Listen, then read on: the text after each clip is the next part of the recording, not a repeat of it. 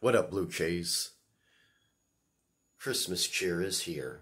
You know, and wonder and the magic of Christmas. It's so much fun. I have this uh, Santa Claus 2 on right now with Tim Allen. That's such a good movie. Um, most likely, I'm going to see my parents later. And, you know, it's just such a wonderful time of the year. Love all the decorations. Um, yeah, and, and just love all the trees and stuff like that, looking in different windows and stuff like that. Even in office buildings, there's like different trees and stuff. It's so cool.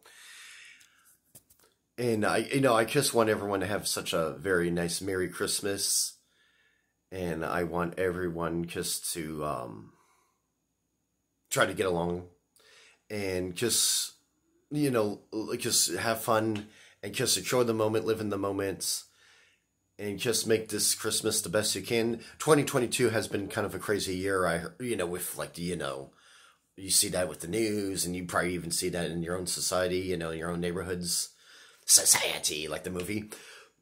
But um, yeah, because remember, it's Christmas time, and because everyone have fun and just get out there and enjoy it. And yeah, make it the best that you can, even if you don't have too much money. Just make it the best that you can. All right, everyone, peace and Merry Christmas.